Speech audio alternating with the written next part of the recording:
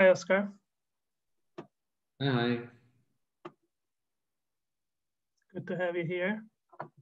How are you? Fine, thanks. And you? Good, good, good. Thanks. We are very excited to have you here today. I'm also very excited to be here today. Um, so you're going to tell us about your recent paper in SMO about um, synthetic organelles. Yes. Very nice paper. So you can uh, start sharing your screen, but maybe before you can introduce yourself with a few sentences. Sure. So, see. Here we go. I hope you can see the screen now. I can see, yeah, correct. Okay. Well, so, uh, welcome, uh, welcome everyone. Uh, my name is Oskar Stauffer. I'm uh, now a postdoc at the Max Planck Institute for Medical Research in Heidelberg, which is this uh, almost 90 year old building now that you can see in the back of, of my slides. And um, yeah, today I, I, I, would like to present you the, our most recent uh, small paper on the bottom-up assembly of functional synthetic organelles um, by droplet-based microfluidics. It's an open access paper, so every one of you can, can read it freely. And uh, well, actually, I, I, also would like to thank uh, the organizer of this meeting uh, for inviting me today um, I really hope looking at the at the list of people that have been presenting in the seminar series before me that I can uh, share with you some of the exciting research and, and, and as the the uh, presenters before me have done. And I'm also very much looking forward to have a discussion on the results because actually it's ongoing work. Yeah, it's, it's only the, the first steps that we were published in this paper. And uh, we are still very much into this topic and, and would like to even deepen our systems that we have developed. So um, first, actually, because I know it's quite of a interdisciplinary audience, so people with many different backgrounds, I would like to give you a quick introduction into the basic mindset of this project. Um, actually, I didn't mention that uh, I have a background in molecular biotechnology myself, so I'm somewhat of a biologist, I would say. And uh, we as biologists, we have been studying these basic units of life, the cells, since now many centuries. Yeah, so as shown in this time-lapse uh, video, we have been studying how they adhere to, sur to surfaces, how they migrate over surfaces, and so on. We've developed genetic engineering techniques on how structural components of these cells and functional modules that allow for that migration of, and adherence of these cells um, can be studied. And of course, with the help of physicists, we have developed uh, very sophisticated ultra-structural imaging techniques that allow us to understand and, and analyze these supramolecular structures inside living cells. So based on all these efforts within the last decades, I would say we've come up with quite good models that describe individual functional elements of cells, like adhesion machineries, in this case, focal adhesions. And we've described many, many different protein components, for instance, within the system. Actually, so many that we're start to losing maybe the focus on the understanding and of these systems in terms of their dynamics, in terms of their kinetics, um, because simply they are so complex and so diverse in their composition that we need new approaches to understand them, uh, as I said, in detail in their dynamic behavior. And within the last decade, more or less, I would say, um, there's a new approach that emerged from the mostly from the physical sciences that's called bottom-up synthetic biology. In this branch of uh, synthetic biology, we strive to construct minimal life-like materials uh, in order to reconstitute kind of these interesting cellular phenomena in vitro. This means we try to break down the complexity of cellular functionalities and cellular structures um, by bottom-up reconstitution of specific phenomena in vitro. So for instance, we build synthetic cells, like shown in this um, um, fluorescence confocal microscopy time lapse um, that incorporate all the molecular um, building blocks that are necessary to build these tubulin spindles. And by this, we are able to study the dynamics of such a um, cellular system in a well-defined and isolated environment. By this, uh, I think bottom-up synthetic biology asks some of the most fundamental questions, uh, questions in the life sciences, which is, for instance, where's the transition from matter to life? Um, can we actually integrate matter into living materials, so into living systems in order to analyze their behavior? And can we then understand and also engineer these lifelike systems on a quantitative level? And very much of my work, especially during my PhD, has focused on interfacing such synthetic cell systems or synthetic lifelike system, uh, systems with actual living cells in vitro in order to analyze the behavior of the living cells in a kind of a function of the synthetic cell system. Um, all of this, of course, requires some uh, sophisticated molecular systems engineering, so means and methods to assemble synthetic uh, materials that somehow mimic lifelike behaviors in a very controlled and quantitative manner. And the technique that we mostly use for this is droplet-based microfluidics.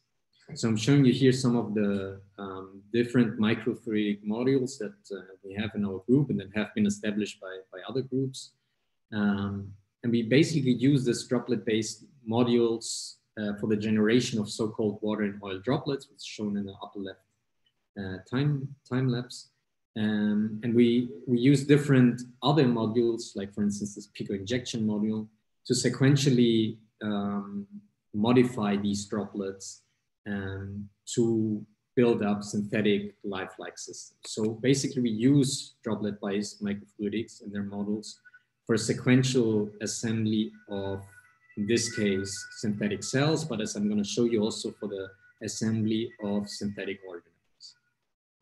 Um, and the, the, the main advantage is, of course, that we can very precisely but in a high throughput, uh, adjust and engineer these uh, synthetic systems. Um, the very fundamental uh, chemistry behind our system will be explained now in this, um, in this slide. Uh, so it's a, a, little bit of mechan uh, mechanistics behind the assembly of our uh, technology. In case I, I, don't manage to explain to you clearly, I, I want to take the, the, the, the take home message already here before actually uh, showing you a slide if, if I don't manage to really explain this in, in detail. Um, what you need to know about the techniques that we use is that it's a high throughput production technique that allows for an exact control of these synthetic systems and it has a very high encapsulation efficiency for biomolecular compounds. So basically what we do is we generate these uh, water and oil droplets, which are sketched here, and we integrate liposomes into these droplets and any kind, if we want, of a biomolecule, could be DNA, but could also be RNA, proteins, sugars, and so on. What will happen, of course, is that these liposomes will diffuse within the droplet. And once they meet the droplet periphery, they will encounter a surfactant, which is of course needed to stabilize the droplet in, in the oil phase. And this surfactant is partly charged. In the aqueous layer, so in the water droplet itself, there's also some magnesium that will be directed to the periphery of this droplet.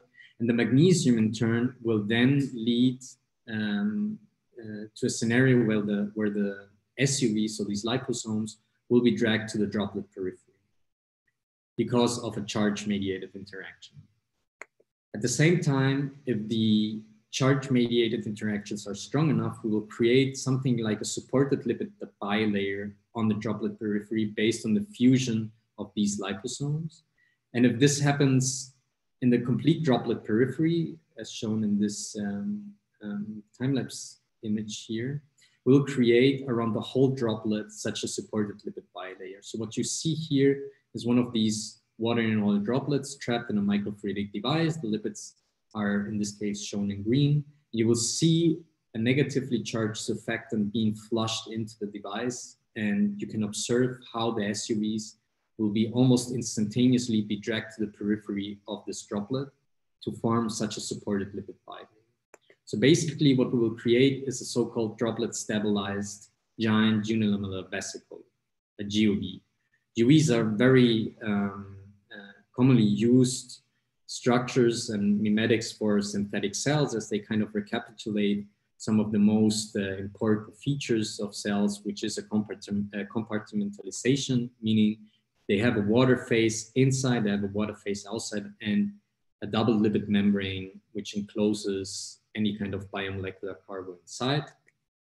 And basically, after the complete formation of these droplet stabilized GUVs, we can also then destabilize the whole emulsification, release the GUVs and whatever we want to have trapped inside back into an aqueous layer. So basically cell culture medium, for instance. So this is the fundamental technique that we use and we've been using it mostly to assemble synthetic cells. But actually we had a project that was aimed um, to use these GUVs also for targeted drug delivery. This is described in a recent paper that was just, I think, published one or two weeks ago. And again, we here used uh, microfluidic technology to produce very small water and oil droplets in order to obtain very small GUVs. So something that's in the border between a giant unilamellar vesicle and a large unilamellar vesicle, so an LUV. This was designed in order to encapsulate any kind of a drug or bigger supramolecular component inside the GUVs to kind of deliver these GUVs into the intracellular space of a cell. So these are GUVs that can be interfaced with cells, small GUVs, and they're taken up by the cells actually.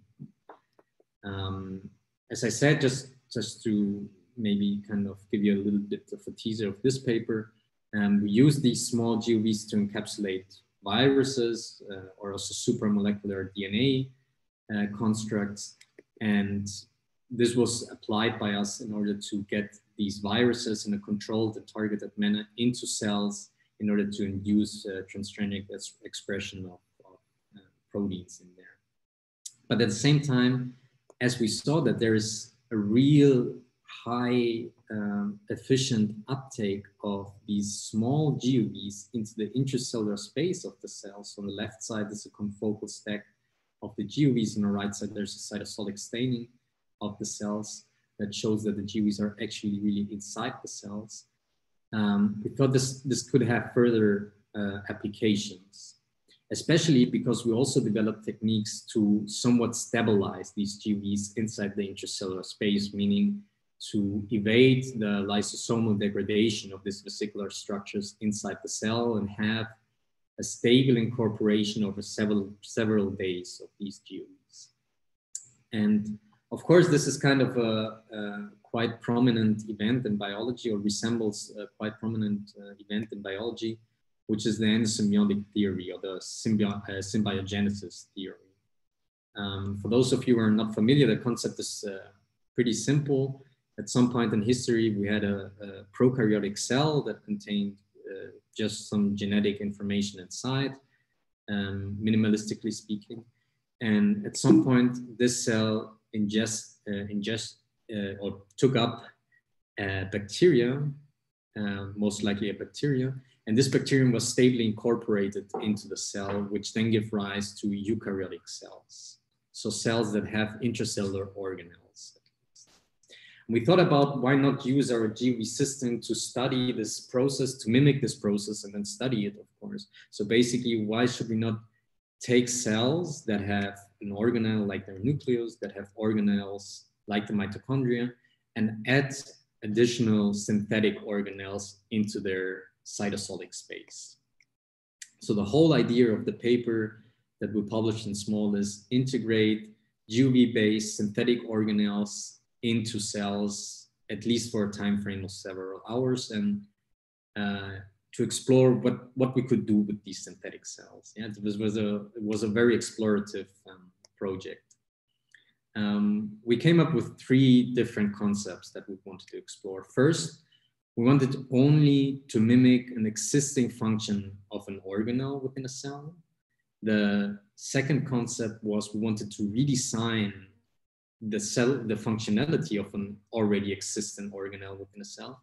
And lastly, the aim was to implement a completely new organelle function within a cell. When I speak about cells, I always mean human cells. This concept could be used also for non-human cells, other mammalian cells, but we only work with uh, human cells in this case. So for the first uh, kind of strategy, we were uh, looking at peroxisomes. Uh, for the second strategy, we looked at buffer uh, at calcium buffering organelles like the mitochondria. And the last one, um, this is a, a, concept that mostly dealt, uh, deals with uh, magnetosome structures. So starting from the first uh, strategy, uh, the idea was to use GUVs that contain a catalase uh, enzyme that simply breaks down hydrogen peroxide within the cells and thereby sustains the uh, redox uh, homeostasis within the cells. Um, first, of course, uh, we check that we can produce these GUVs that harbor the catalase enzyme inside its lumen and that these GUVs are taken up by the cells. Um, synthetic organelles, once they're taken up, we call them synthetic organelles, are able to sustain cellular redox, uh, redox homeostasis. And this we did by staining the cells with a dye that is sensitive to reactive oxygen species, so that will light up once it's oxidized by reactive oxygen species. Um, so we uh, used human keratinocyte monolayers uh, as redox homeostasis, kind of an important concept in uh, skin, especially. Um, we use keratinocytes. And these keratinocytes were uh, either um, treated, or these keratinocytes were treated with a compound that induces oxidative stress in them. And they either harbored these synthetic peroxisomes, so synthetic organelles, or they lacked them. And we quantified simply the um, fluorescence of these cell redox dye as a measure of the oxidative stress of the cells. And we could basically show that the synthetic peroxisomes sustain cellular redox homeostasis and um, basically support the cells to um, equilibrating back to their original or favorable um, redox homeostasis after oxidative stress is induced. So this was already the first proof of concept that we can design somewhat of a synthetic organelles inside, but of course it's a very simple system um, that's just based on the incorporation of a itself active uh, enzyme into a GUV. So we decided to um, kind of add a little bit of more complexity into the system and redesign the existing function of an organelle within a cell. So basically um, mimic a function of a cell, but with a completely different and synthetic mechanism that we designed. And for this, we turned to the um, electrophysiology, if you want to say, of cells, more specifically um, into their calcium homeostasis. What I'm showing you here is a fluorescence um, time-lapse microscopy series of human fi fibroblasts that are either stained with a cytosolic dye that lights up as soon there's elevated calcium levels. It's on the right side and on the left side. Um, there's a very uh, similar form of this dye, which is mostly directed to the mitochondria. And when you image such a fibroblast monolayer, you will see that there are individual cells, we call them pacemaker cells, that will spontaneously fire calcium action potentials. So basically, they will elevate their intracellular calcium levels and there are two important organelles involved in this process. The first one are the mitochondria, the second one is, the second one is the endoplasmatic reticulum. Um, what you can see when you quantify these um, intensities over time, you will see that you always have a pacemaker cell, which is here in the cell number one, that induces also a change in the calcium levels of another cell that is in contact with this pacemaker cell and these we call the follower cells. This whole uh, pacemaker follower cell system is an important tool um, that applies calcium as a kind of a second messenger, uh, which will trigger uh, transcriptional activation of specific genes, uh, either directly in the, in the pacemaker cell or in the follower cell. So it's a very interesting system electrophysiological system um, that has impact not only in fibroblasts, but in many other cell types. So the basic idea of our next synthetic organelle was to implement GUVs into cells that contain a calcium, uh, calcium which was caged with a UV sensitive um, chelator, uh, this NP-EGTA, which will basically release calcium inside the GUV once the GUV is illuminated with UV light. Um, to study this, if it's in general possible at all to release uh, calcium within a GUV, if this calcium will pass through the lipid membrane of the GUV into the, uh, or outside of the GUV, we first studied the whole uh, UV mediated uh, calcium release process inside water and oil droplets, which is shown in this uh, time-lapse, uh, time-lapse uh, microscopy images here. So basically we use droplets um, that contain GUVs. This in, in yellow is the GUV uh, with the calcium chelated inside and a fluorescence calcium indicator integrated into our droplet. And what you could see when we illuminated um, this one specific droplet with UV light, that it's not only that we see an increase in the uh, fluorophore, so the calcium indicator fluorescent within the GUV, but within the whole droplet, which kind of uh, assured us somehow that once calcium is released inside the GUV, it will pass diffused by diffusion through the lipid membrane outside of this GUV. So um, like in the, in, like I, I showed you before, it will pass out of the mitochondria, which we're trying to mimic into the cytosolic space. So the next step was pretty clear to load these synthetic organelles into the cells. This is again a fibroblast monolayer. Um, on the left side, there is the cell monolayer, again labeled with a calcium indicator. You can already see there is some um, background activity, so spontaneous uh, firing of these uh, calcium action potentials. And then there's this one uh, cell that incorporate many of our GUVs inside that were loaded with uh, chelated calcium. We illuminate the specific cell, which led to firing of uh, uh, action potentials inside the cell. But most importantly, also in some of the connected cells, we could see increased firing of these calcium action potentials. So taking together this kind of uh, illustrates that we were able to design and implement the uh, functionality of the calcium buffering um, capabilities of mitochondria, but also, if you want to say so, of, of uh, the endoplasmatic reticulum, and establish a synthetic pacemaker follower cell system, which is, of course, responsive to light. So it mimics an existing function of cells, but with a very different synthetic mechanism. Okay, so everything I showed you until now are uh, cellular functionalities that are somewhat intrinsic to mammalian cells already. So the last step that we took was to mimic the functionality of an organelle that's actually not existing in the mammalian world at all. And these are magnetosomes. So the idea was to transplant the functionality of an organelle that you might find in a specific uh, branch of the phylogenetic tree and transplant this functionality into a completely other branch of the phylogenetic tree. Um, for those of you who are not familiar with magnetosomes, these are uh, lipid enclosed um, primitive organelles found in uh, different kind of bacteria. They contain or contain iron-based nanoparticles, so to say.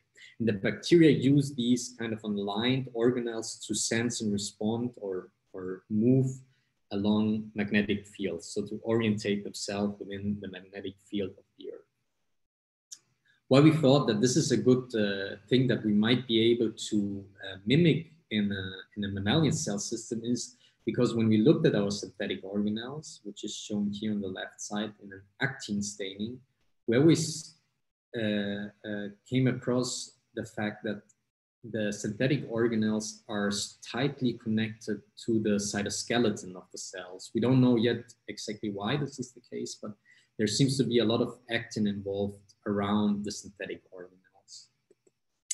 Uh, second of all, um, the interesting thing about our technique for the GeV production is that we can easily incorporate magnetic nanoparticles into the lumen of the uh, GeVs. And these nanoparticles are, are iron-based nanoparticles. They're responsive to extrinsic magnetic fields that we apply, uh, as you can see in, in, in these time-lapse videos. So um, we thought about taking these systems as a primitive mimic of the magnetosomes from bacteria, um, transplant them into mammalian cells, um, simply culture the mammalian cells next to a magnet or a strong magnet actually, and see if we can induce a magnetotactic behavior inside the cells. Uh, we were not confident at all uh, at the beginning that it will work, but actually this was one of the nice experiments that you have that you try on the first try and you already get quite a good result and you're very happy with it because it seems to be a very um, uh, stable system actually. So on the left side, I'm showing you here the fluorescent staining of the synthetic organelles in, again, a fibroblast monolayer. And if we zoom in into this um, in the bright field image, uh, which um, gives you a good contrast of the, of the iron nanoparticles, we could already see that these organelles seem to align somehow according to the magnetic field that we were using or that these cells were cultured next to. And we also looked at uh, on the electron microscopy level, we could see some indication that there seems to be a preferential orientation of these magnetic nanoparticles within the lumen of the GeVs once taken up by the cells. So this is a good structural analysis, but it doesn't tell us anything about the functionality of these synthetic magnetosomes this is why we did a kind of a simple uh, proof of concept experiments. We cultured these monolayers of cells in a well, um, in a, of a well plate. We imaged the whole well plate. So this is a, uh, the, the nuclei of all the cells. This is the actin staining of the cells, and these are the synthetic organelles of the cells. Um, in one case without a magnet, which will result in a quite even distribution of uh, the cells within the well. But once we place the magnet next to the cells, will see the magnet position is now indicated by this gray bar here, that the cells somehow seem to sense the magnetic field and seem at least partially to migrate to the magnet side, which you can see in the quantification of the cell numbers on the right side. So this already gives us somewhat of a functional assessment that these synthetic organelles actually do work inside the cells and that the functionality was transplanted based on the design of an organelle that is not at all intrinsic to mammalian cells. So basically, we equipped um, with the synthetic magnetosomes cell types in a way to give them a, magnetic, a magnetosensitive phenotype, which allows them to, to migrate in a magnetic field. Um, you might ask, why is this interesting? And this, unfortunately, for the moment, the only thing that um, somewhat points to application of, of the whole procedures that I'm showing you here is the current system that I'm showing you on the magnetosomes also works for primary neuronal cells. Um, again, in the upper side, um, you can see cells that were cultured next to a magnet um, with the synthetic uh, magnetosomes. And on the lower side, these are cells without synthetic magnetosomes, so primary hip hippocampal neurons from uh, rats. Uh, and this is actually kind of a challenging thing to direct the migration of neurons uh, because, and it's interesting because it opens some therapeutic uh, possibilities, of course, in the far future to uh, also promote the elongation and extension of neuronal connections, as you can see in the right.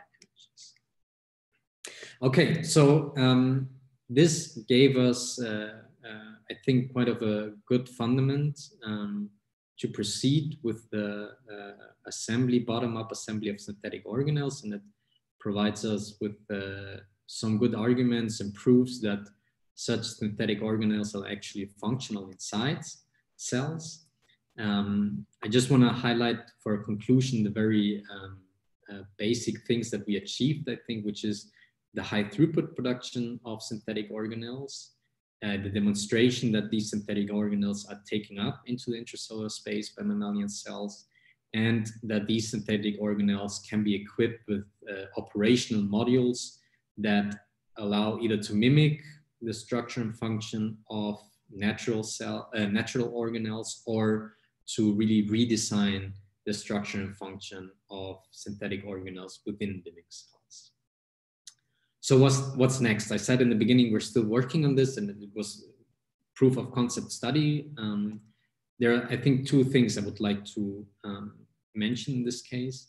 Uh, first, uh, I think synthetic organelles um, and the ability to construct these very complex structures um, might open up in the far future new therapeutic possibilities. So we might be able to engineer therapeutic machineries that are operable within the intracellular space.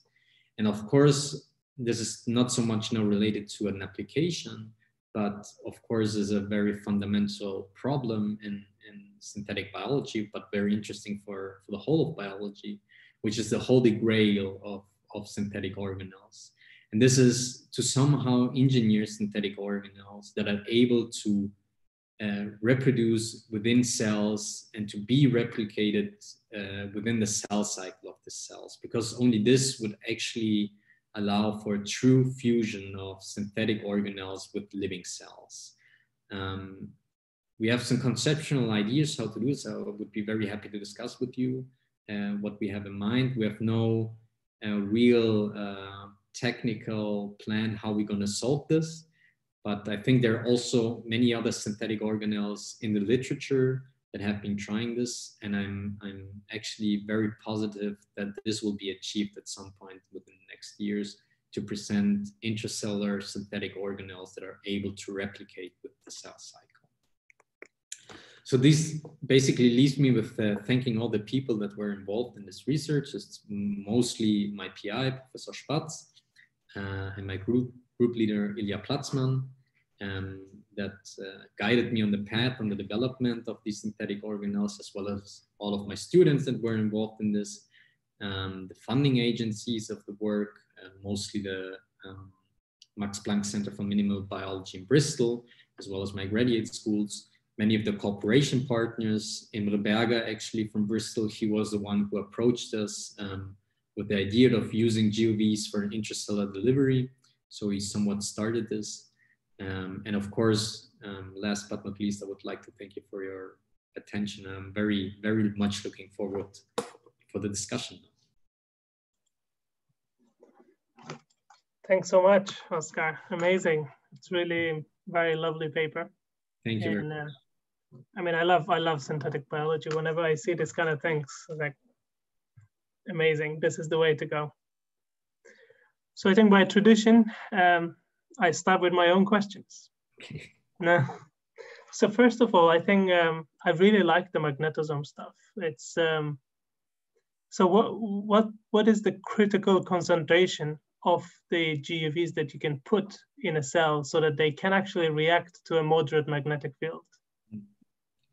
Um, so, so you're basically pointing towards the quantitative effects um, in general of the of the synthetic organelles.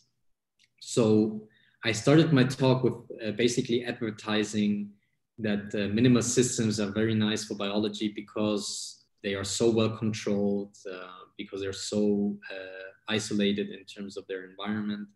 And then I said that uh, uh, what I like to do is to interface these well-controlled systems with synthetic cells, and this messes up the whole concept because in, uh, uh, with natural cells, and this kind of messes up the whole concept because cells do whatever they want at some point. Yeah, and as I showed in some of the images, um, some of the cells take up the synthetic organelles, uh, and some almost not yeah. And we don't know why this is the case at the end. So we have yet no means to control or to induce a homogeneous uptake of the synthetic organelles at least in the cell types that we've been using so far.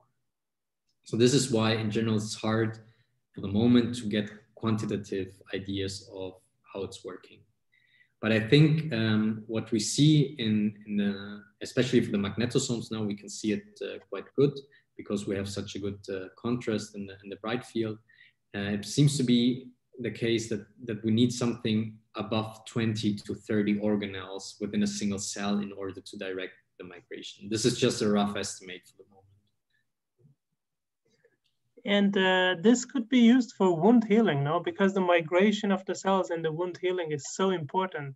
Um, if you can actually engineer it so that uh, you fasten this process. Yes, yes. So we have uh, many projects that deal with wound healing uh, here in the department, um, mostly from a biophysical perspective. Um, and of course, for wound healing, what matters is not the so much the migration of single cells, but the collective migration of cells. This is especially important. And for this scenario, what you will need to induce for a sustainable collective migration is the formation of so-called leader cells. So single cells within a monolayer that will somehow drag or direct the whole collective behind them for migration. Um, and I think the, the whole, and this I agree completely with you, this magnetosome technology could uh, help to promote the formation of these leader cells. I think the cells themselves, keratinocytes themselves, once activated for migration, are strong enough to migrate by themselves. Yeah, if the substrate and so on is, is good enough. But I think the very critical point is the induction of these leader cells. And this is something that I've been looking somewhat into it and we see that there's an effect. Um, but unfortunately, there's uh, uh, not enough critical data for the moment that, that I can draw any, any definitive conclusion on this. Thank you, Oskar. So uh, I'll ask one of the questions from the audience. So Alexander Rabane is asking, basic biology question. Why are these GUVs taken up by the cells? As far as I know, membrane-coated viruses need specialized machinery to enter the cells why does this not apply here? Yeah. Um, so we started the whole um, targeted delivery project by GUVs actually with the very same question. Why? So we, we incubated GUV cells and we saw strong uptake and we, we were thinking, why is this actually happening? And I think there are two critical factors that will induce this. First is the charge. These GUVs that we use, they are charged and there will be a charge dependent uptake of GUVs with cells. And this is, um, I think, because of two reasons. First, because there's a direct charge associated interaction between GUVs and cells. But second, the charge will also induce a coating of the GUVs with serum proteins that are present in the media, in the cell culture media. So the GUVs um, will be somewhat co somehow coated with serum protein. And these most likely will mimic the activation, either specific or unspecific activation of endocytotic mechanisms uh, within a cell once a GUV gets in contact with the cell. And we've been studying this by, by confocal microscopy, and we see that actually the uptake is very fast uh, once a GUV attaches to a cell. So um, I think the, the other thing I need to mention for this is we've been using cells that intrinsically have a high membrane turnover. So there's a lot of endocytotic machinery present within the cells. Mm-hmm. these are fibroblast cells, also neuronal cells, um, some dendritic cells, um, which certainly aids the uptake of the synthetic organelles. Um, we can, I mean, it's described in this biomaterials paper that, that I mentioned in the beginning. We can also coat the GUVs with uh, specific ligands, integrin ligands, for instance, that will then additionally promote the uptake of the GUVs. But for the moment, with this synthetic organelles, it's mostly passive uptake. And uh, when you say it's charged, which kind of lipids do you use on the surface? And these small GUVs that you mentioned, they're not really coated. Um, they're not encapsulated because the first you show that the GUVs that you form are encapsulated by this uh, surfactant. Exactly. Yeah. So um, the small ones, the small ones that you use, are they also encapsulated or they're free? The small ones, they are produced by the very same technique of this water and oil droplet production. But once released out of this polymer shell of the droplet, um, we know, described in the Nature Materials paper, um, that there's no surfactant and no polymer coating the GUVs. So these are from what we see nascent GUVs without any coating. And to your first question, um, the the GUVs that I was showing you here are GUVs that are composed of PC, PG, and cholesterol lipids mostly. Um, and of course, additionally, some uh, fluorescently conjugated lipids to image them and so on. Um, but the general technique of charge mediated formation within water and oil droplets is uh, can be used with uh, almost every um, lipid composition um, as long as there's a charge involved. So non-charged GVs are pretty hard to produce, although it's somewhat possible, but it's very challenging to do so.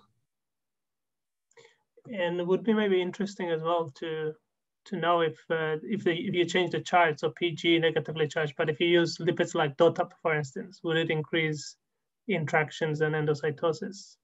Exactly. So, um, so if you're interested in this, I can really just direct you to the biomaterials paper because there we did a lipid screening of different charges and different lipids. Uh, it certainly has a big influence on the interaction of the vesicle with the cell. Um, but yeah, I really of course, I would be happy if you read the paper.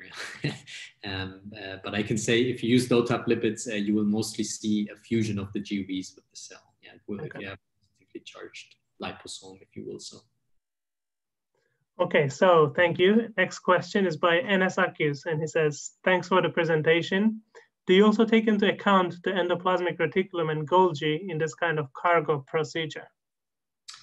Um, yes, so we've mostly focused on the lysosomes, of course, because this is just, um, I think, the most common mechanism of a cell to deal with particles that uh, takes up from the extracellular space.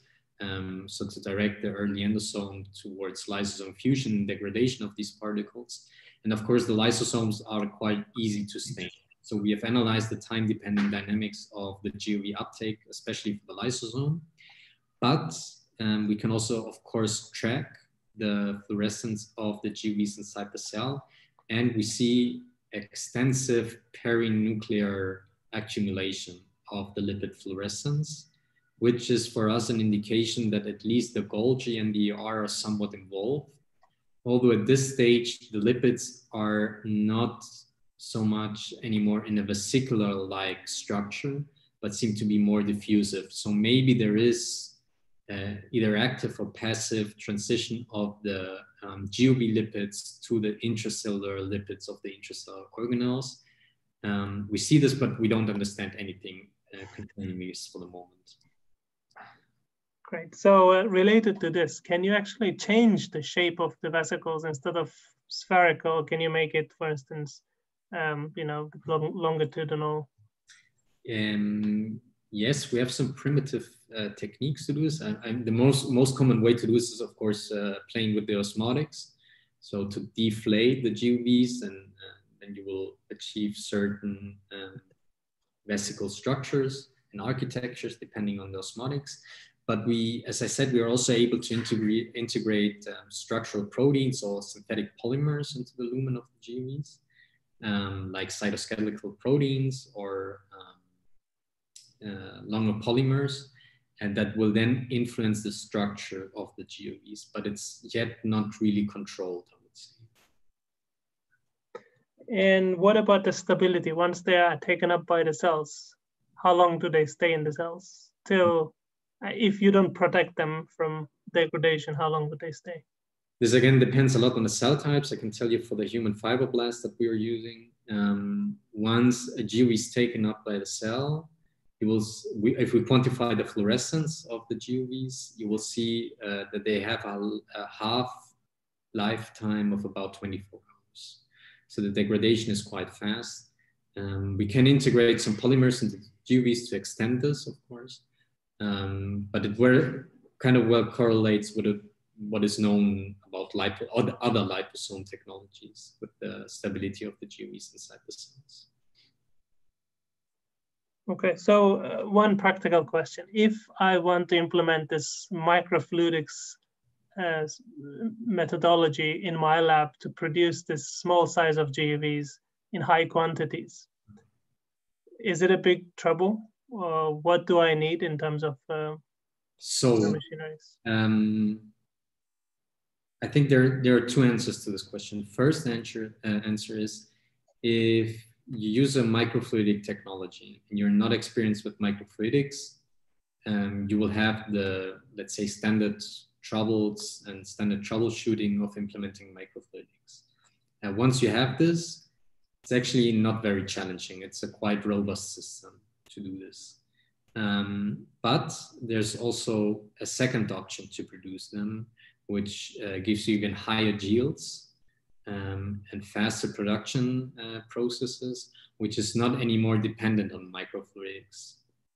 This we published in a paper in ACS Synthetic Biology, which is a one pot um, production uh, technique. So basically you can perform the whole process within an epi and it induces the formation of these water and oil droplets by shear forces due to mechanical agitation, so basically vortex. So um, we hear from people that have been using our technique in their lab without us helping a lot that managed to establish this within days. So once you have the reagents, they're not so expensive. It's uh, quite simple to establish this, um, especially if you don't want to use the microfluidic technology. I'll chase, chase you on this one. Um, next question by Alexander Rabana says, thank you for the previous answer. I was wondering why you choose the charge mediated formation of GUVs as opposed to other methods. Yeah, so I think there are many reasons to do so, and there are also some reasons not to do so, I would say. Yeah. So um, first, when it comes to um, screening conditions, uh, as I said, the whole project was based on this uh, targeted delivery paper um, where we screened a lot. Um, conventional methods like uh, electroformation of GUVs is um, certainly a limiting factor concerning the throughput. So we are talking about screenings with 20 to 30, 96 well plates, several conditions, um, you would take quite a long time by electro standard electroformation techniques to get such high numbers of GUVs. Um, the second one is that even if you get these high numbers of GUVs with electroformation methods, you will have not have the same level of control over the GUV size, for instance, but also about their composition. You're not as flexible in the composition as with the droplet uh, stabilized version of GUV formation. And um, third of all, I mean, and this might be one of the most uh, important um, aspects concerning the magnetosomes, incorporating nanoparticles or even microparticles into GUVs with other forms is challenging, I would say, more challenging than with this method. Thanks, Oskar. So the next questions, actually two people asking in a similar line, Sahar Alizada and Arda Khan Uner. So the first question is, um, can this method be used for Zellweger syndrome, which is characterized by the reduction or absence of functional peroxisomes, and what would be the limitations of this? And the second question by Arda is also in the same line, saying that if these synthetic organelles are used in organelle-related diseases in the future, can the defective organelle in the cell suppress communication with DNA and other signals and be involved in this process? More, I mean, in a nutshell, uh, where do you see if these uh, systems can be applicable in, in therapies? Yeah, I mean, for the moment, it's uh, pure speculation. Yeah, I mean, the um, so the institute where we work here is the Max Planck Institute for Medical Research. Although it says medical research, we are mostly doing research that is aimed to find an application not next year, not in the next five years, but maybe in 40, 50, or 100 years. So it's very fundamental. Um, this is why I, I, need to stress that it's pure speculation, but I really hope that synthetic organelles, um, either this system I showed you or other systems, at some point will be truly integrated into living cells, meaning that they replicate with the cell cycle, that once applied to a cell, you will have them in your cells. Um, when this is achieved, I think that there's a really wide variety of options, therapeutic options that you could explore. As I showed you, I think there's there's a proof of concept in this study that um, these synthetic organelles can replace or sustain natural organelle function, also with a therapeutic perspective at the end. Um, it might be that we need to include genetics into these organelles. So any kind of, a, for instance, DNA-based genetic system that allows for programmable um, behavior of the synthetic cells inside uh, of the synthetic organelles within the cells.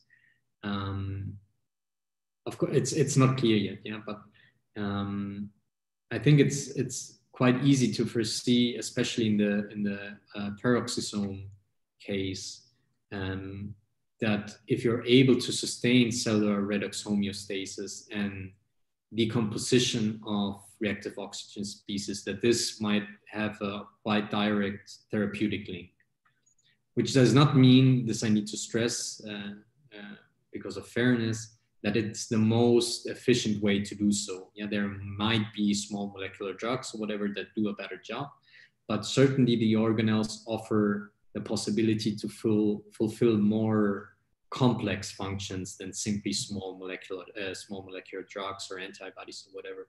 They can, as I said, include genetic programs that make them more dynamic, more responsive, and so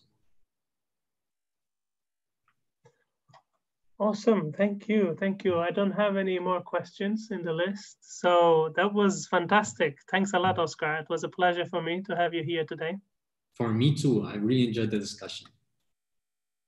Thanks a lot. So good luck for the future and uh, we'll be following you and uh, your work in the future. Thank you. See you.